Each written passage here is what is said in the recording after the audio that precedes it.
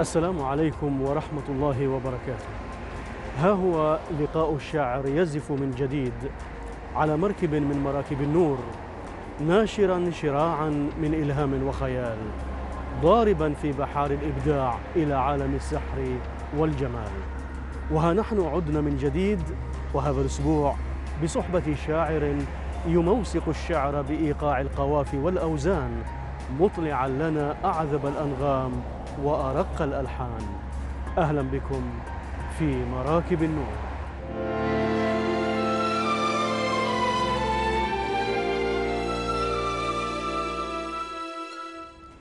الشاعر الإماراتي المبدع أحمد محمد عبيد له مع الشعر حكايات ملتصقة بجدران ذاكرته لا تنسى مع الأيام والسنين. ومع غروب شمس يوم متعب وشروق شمس يوم جديد يعاوده إليها الشوق والحنين فيكتب ويكتب في فضاء فكري وصفاء ذهني رحيم. الكتابة الشعرية الحقة الجادة الجميلة الإبداعية تحتاج إلى صفاء ذهني كالرواية آه تماما. آه عندي إحساسي بالصفاء الذهني خاصة بعد إجازة طويلة من العمل مثلا أو بعد السفر أو بعد آه أو بعد راحة طويلة أشعر برغبة الكتابة وعودة الصفاء الذهني لي. تستوقفني الكثير من الموضوعات الوطنية الموضوعات الوجدانية التي أعيشها آه كشاعر يعني آه الحياة بما فيها من التجارب بما فيها من آه من آه من التضاريس بما فيها من التفاصيل تستوقف الشاعر للكتابة طالما أعجب بهذه التفاصيل أو أحس بقرب هذه التفاصيل منه. لعل هذا الصفاء الذهني الذي يتحدث عنه شاعرنا أحمد محمد عبيد والذي يساعده على التحليق في فضاءات الشعر المديدة.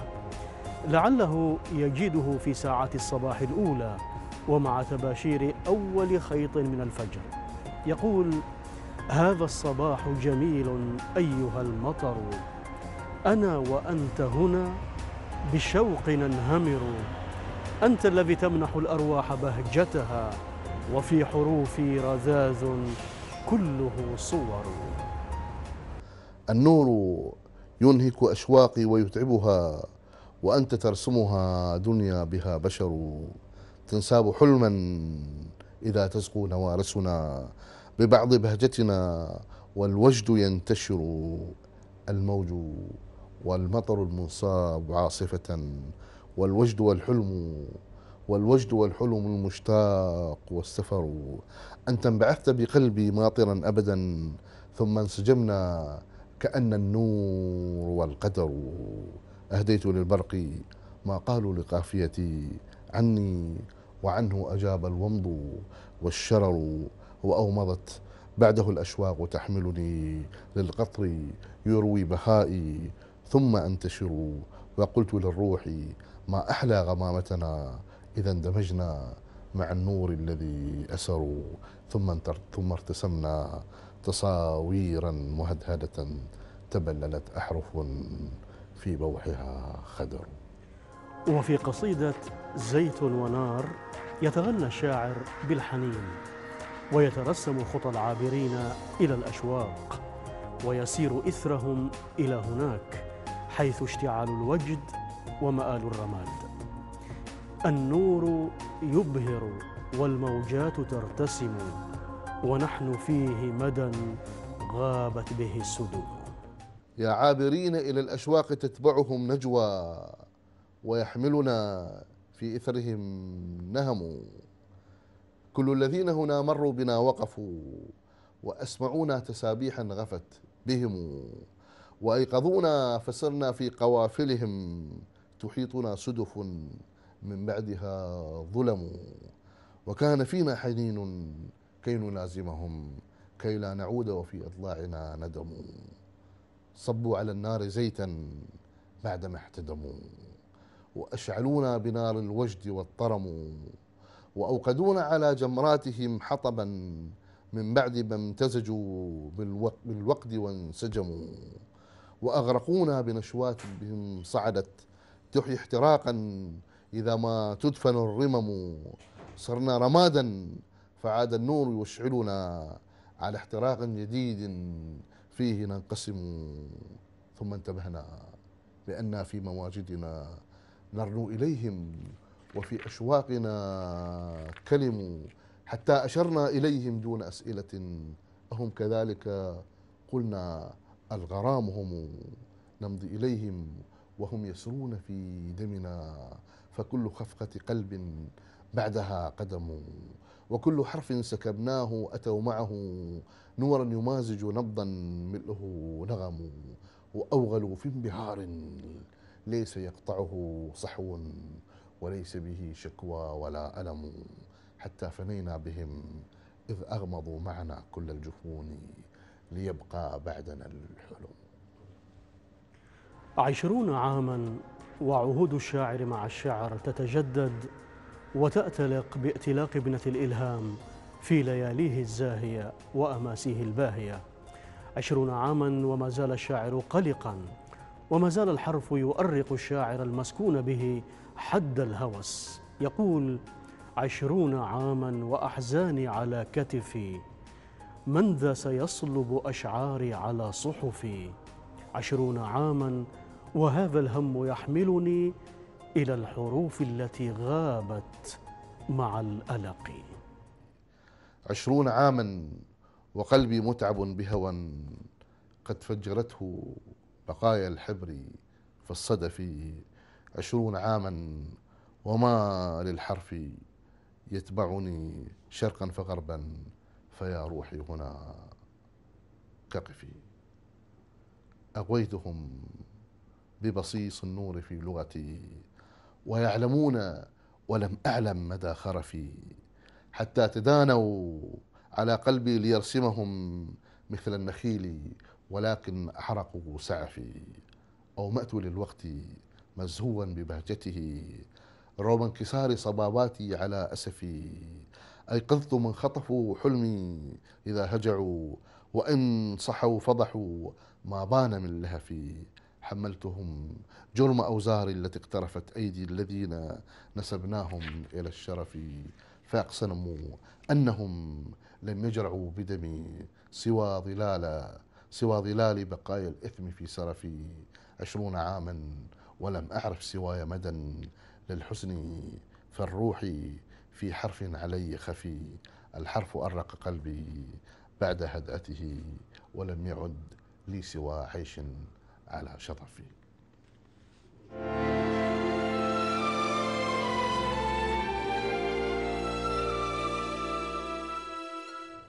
ويطرق الشاعر أحمد محمد عبيد باب الغزل والشعر الوجداني فتذوب القوافي في بوح شجي شفاف ونجده في قصيدة بعد عامين متأثرا بقصيدة تحمل الاسم نفسه للشاعر المصري الكبير عبد القادر القط الذي يقول في قصيدته تلك لحت لي فجأة فحار يقيني واسترابت في حسها الأنظار وتجليت في الربيع ربيعا أطلعته على الربى الأقدار.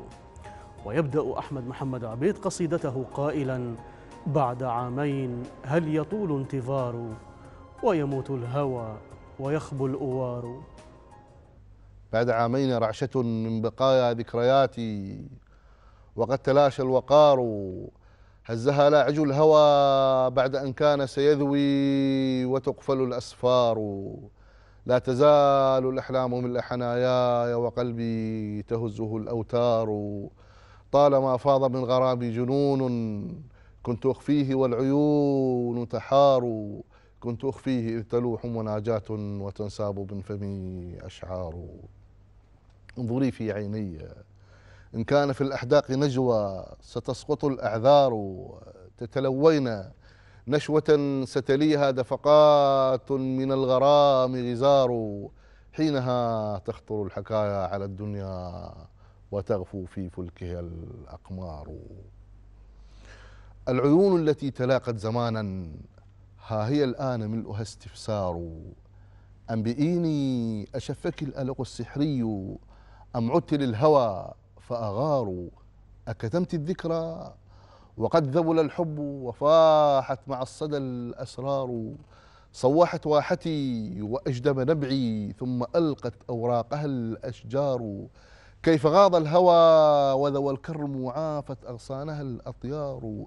أنبئيني فالسحر فيها حديث مستطاب والناي عشق مثار. أنبئيني هل مر بعدي عليها مستهام أو التقى زوار؟ أنبئيني إن كان ذاك فما أقساك والقلب خائن غدار. يبدو الشاعر في أغلب قصائده محبا مشببا بالجمال أينما وجد. حتى وإن اتسم شعره بنزعة إلى التأمل العميق في حقيقة النفس البشرية والكون والأشياء من حوله.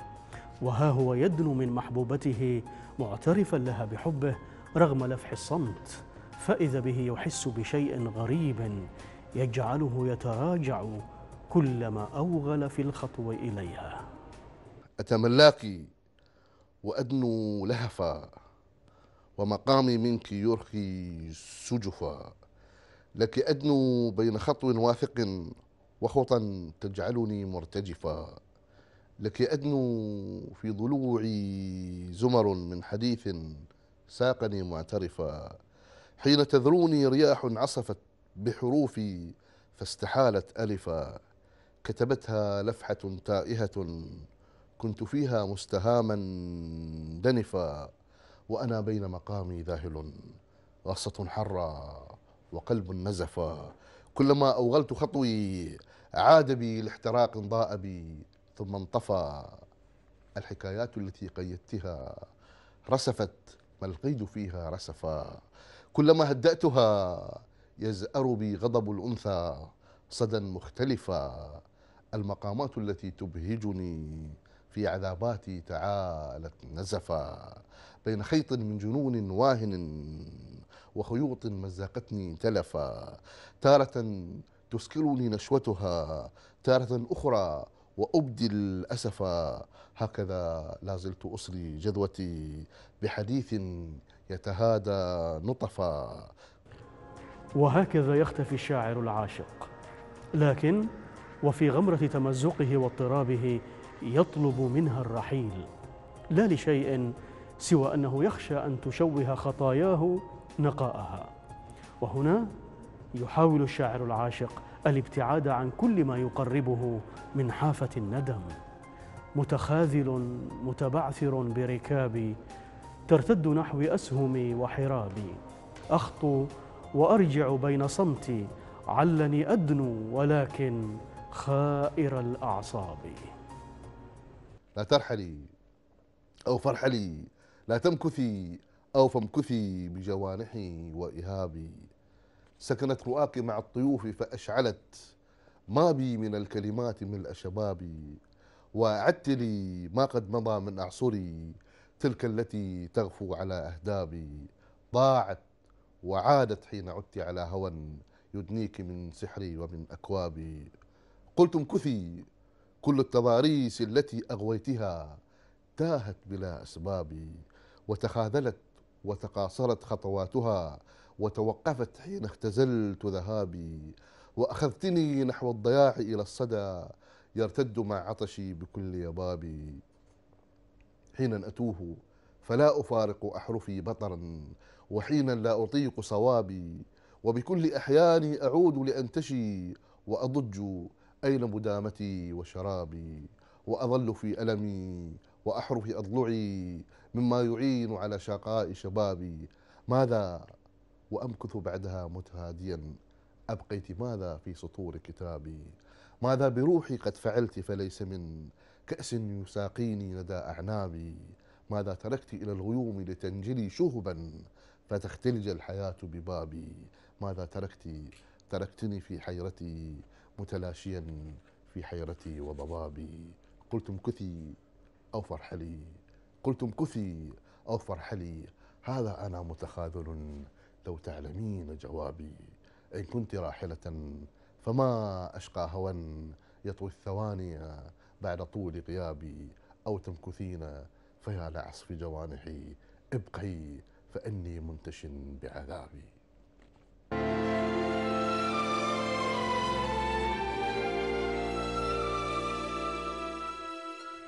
من الصعب على الشاعر أي شاعر أن يفضل قصيدة له عن غيرها. فكل قصائده كما يقال أولاده الذين لا يفرق ولا يفاضل بينهم. ولكن يبقى في قرارة نفسه شعور وانجذاب إلى واحدة على الأقل فيعترف أنها أعز ما كتب.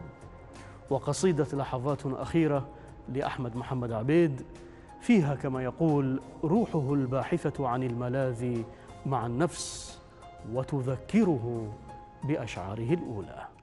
هنا أوقفت بحثي عن جوابي لأسئلة التي أعيت شبابي. هنا رسم السكون على فضائي مثالا من حكايات اغترابي. وسألت الخلايا عن جنون شعرت به ولم يشعر بما بي ولم أحفل به لكن روحي تمادت في غوايات التصابي وغابت بين رؤيا بعد رؤيا وتاهت بعدما عبر الضباب. وأغوتني ولكن لم تعد بي حكايا الوجد تمرح في رحابي. هنا ألقيت أشعاري وحرفي. هنا ناجيت روحي وعذابي. هنا أهرقت خمري من دناني. وصمت وقلت ترحمني حرابي وقد أوعدت نفسي بالرزايا على درب الخرائب واليباب وغبت عن الرفاق وكان فيهم وفاء فوق شوقي للصحاب سروا في كل درب كنت فيه وكانوا هم جموحي وانجذابي وكانوا في ضلوعي ملء قلبي وكانوا في حكاياي العذاب وكانوا في ارتسامي في الأماسي. وكانوا في صباحي مع شرابي وكانوا في حروفي حين أشدو وكانوا في بكائي وانتحابي وكانوا في انتشائي حين أمسي قناديلا معلقة ببابي وكانوا هم عصافير الحيارى على شباك من سكنوا كتابي وكانوا واختفوا ثم استراحوا ولكن لا أزال على سرابي. إنه دفق من شعور وشاعرية في لحظات يتذكر فيها الشاعر كثيرا من المواقف والأشخاص فيرى أمامه شريطا سينمائيا يعج بالصور والأحداث وعلى غير المتوقع يأتي الاعتراف صادرا من روح أتعبها تقلب الأيام وتبدل الناس فيكون البوح ليتني لم أقل شعرا ولم أعزف أي لحن. هنا أودعت سري في اعترافي. لعل الروح تحيا في الروابي أبوح فليتني ما قلت يوما قصائد أو عزفت على ربابي. لعلي بين أعشاب البراري سيمزجني الذبول مع التراب. سيحرقني الهجير بذات صيف وتقضبني الشياه. بلا حساب وأشبه عشبة كانت ستزهي لو الغيمات قد علمت إيابي ستدرون الرياح فلا سؤال سيبقى أو سأعلم ما جوابي. كتب أحمد محمد عبيد الشعر بأغراضه المتعددة ونوع في موضوعات قصائده. وفي ديوانه هذا لحظات باقية أقف على قصيدة عنوانها سؤال روح. يرثي بها صديقه الشاعر الإماراتي أحمد راشد ثاني رحمه الله. يقول فيها يا سؤالا إلى الوجود الحزين وأنا بين حيرتي وظنوني. كيف لي بالحياة في رغد العيش وهذه الأرواح رهن المنون آه يا لحظة المواجد ضميني إلى كل رجفة ضميني. قدر أن تبوح لحظة ذكرى بحياة تعاظمت في سنيني وتمر الأرواح بين سمو كحياة تحررت من سجوني فعلى الروح خفقة من ضياء أودعتها بلهفة المحزون. كنت فيها متيما بسؤال أبدي يضج أبدي يضيع في التدوين. وتلقيت يا أبا وهج النجوى وأغفيت لحظة في عيوني. كلما رمت للسؤال جوابا تكتفي بابتسامة من طعيني. قلقا كنت كالهموم الحزانة باسما في مرارة وشجون. وهج الحرف فيك سرد جميل وحبور على اكتمال لحوني. خطوة كنت شاطئا يتجلى بارقا في شقاوة الخمسين غارقا كالصباح في خور فكان جميلا كالشاطئ المجنون كند الصبح كالنخيل على الوادي كسحر العذوق في العرجون. صاحبي هل أقول حان وداع؟ صاحبي هل أقول حان وداع؟ أم ترانا سنلتقي كل حين. هل تراني أراك في بسمة الصبح وديعا وهازئا من سكوني علنا نلتقي هناك لنخفي قلق الروح عن ثنايا الجبين علنا نلتقي ونصغي ونصغي لجموع الشباب في العشرين علنا نلتقي وبيض حروف يتجلى في لحظة التكوين.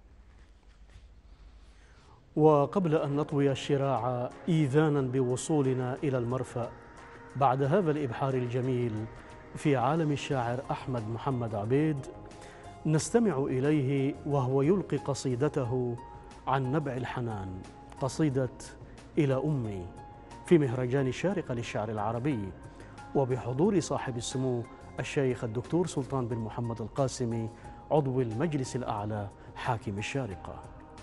أمي. وهل بعد أمي تنطق الجمل؟ أمي الفضاء الذي فيه سأرتحل. وأنها مد ماء في وضوء أبي ينساب في الترب غفرانا وينسدل وأنها جزء قرآن سيسكنني في سورة الكهف أشواقا ويرتحل. وأنها مد ماء في وضوء أبي ينساب في الترب غفرانا وينسدل وأنها جزء قرآن سيسكنني في سورة الكهف أشواقا ويرتحل وأنها ساحل الغافي بموجته وشاطئ الحب ركض كله خبل وظلة في عريش كان يسكننا ودعته بعدما جيراننا انتقلوا وأنها الفرحة العطشى على لهف في لحظة الفطر والصوام قد عجلوا وأنها العيد يكسوني ويبسم لي حتى مضى فجفتني بعدك الحلل. أمي ويورق بالحب الذي زرعت يداك وانطلقت ما بيننا رسل. حب قديم سيبقى بعد موجدة وزفرة في ضلوع منك. تشتعل تمضين في سالف الذكرى فتوقظني ظلال روحك والأضلاع تبتهل وكلما عادت الذكرى على وطري. أبكي ويبكي بقلبي طفلك الرجل. وها نحن وصلنا إلى المرفأ بعد هذا الإبحار الجميل في عالم الشاعر أحمد محمد عبيد. وإلى أن يجمعنا وإياكم لقاء جديد على مركب آخر من مراكب النور. لكم منا أطيب المنى وإلى اللقاء.